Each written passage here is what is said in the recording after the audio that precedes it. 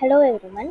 The product website visibility app helps user to hide an unavailable and out of stock variants of the product.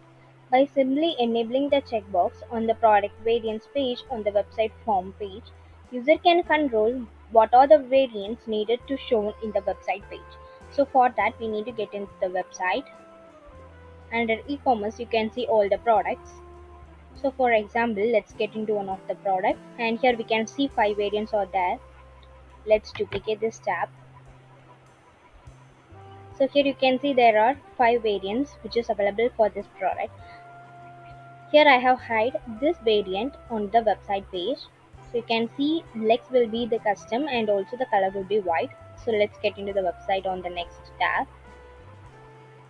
Here on the website page let's get into the shop you need to get into the same product where you can see for an custom white it will be unavailable in the product.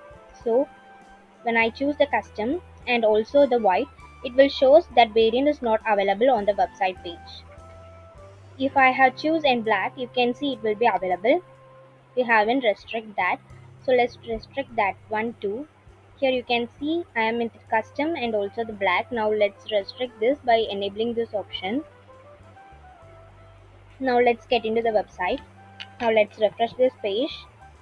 You can see it will be not available for both white as well as the black. In this way we can make use of this module to hide an unavailable and out of stock variants of the product.